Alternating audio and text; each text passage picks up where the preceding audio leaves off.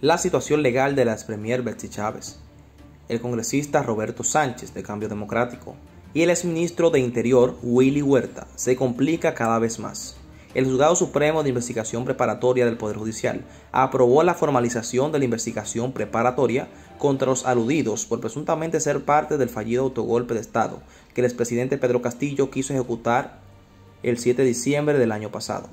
De esa manera, Chávez, Sánchez y Huerta serán procesados por los presuntos delitos contra los poderes del Estado y el orden constitucional, rebelión, y contra los poderes del Estado y el orden constitucional de conspiración en agravio del Estado. Con ese paso, la fiscal de la Nación, Patricia Benavides, podría solicitar medidas más restrictivas contra los mencionados. Una posibilidad podría ser la prisión preventiva. En esa línea, también se dispuso que la etapa de investigación preparatoria tendrá una duración de ocho meses debido a que el caso se consideró complejo.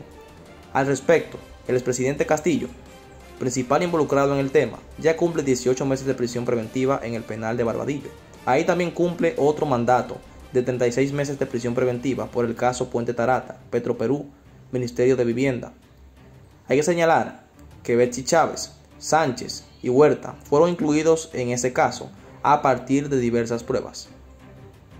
En el caso de la Premier, el programa dominical Panorama mostró que también aparece en un determinado momento cuando Pedro Castillo Terrones hace gestos con las manos para ultimar detalles y manda llamar a quien entonces era la presidenta del Consejo de Ministros en el despacho presidencial.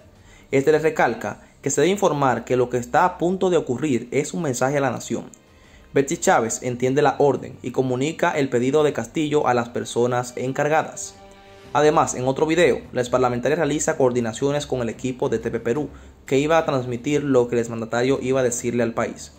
Esa prueba fue contundente para que la Subcomisión de Acusaciones Constitucionales y el Pleno del Congreso aprobara la denuncia constitucional y el respectivo desafuero contra Betsy Chávez, por 66 votos a favor, 11 en contra y 6 abstenciones.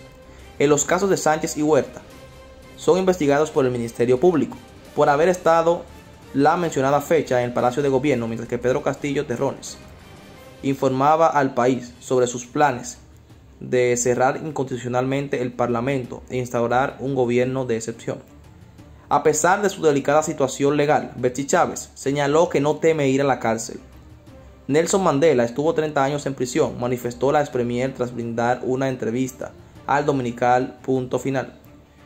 Por otro lado, la funcionaria dejó en claro que no tiene intenciones de postular a la presidencia, pero que sí apoyará a Aníbal Torres en ese proceso. Para cada día enterarte de lo que ocurre en el Perú, te invitamos a que te suscribas a este canal y también que actives la campanita de notificaciones para que cada vez que subamos un video te enteres de lo que ocurre en Perú.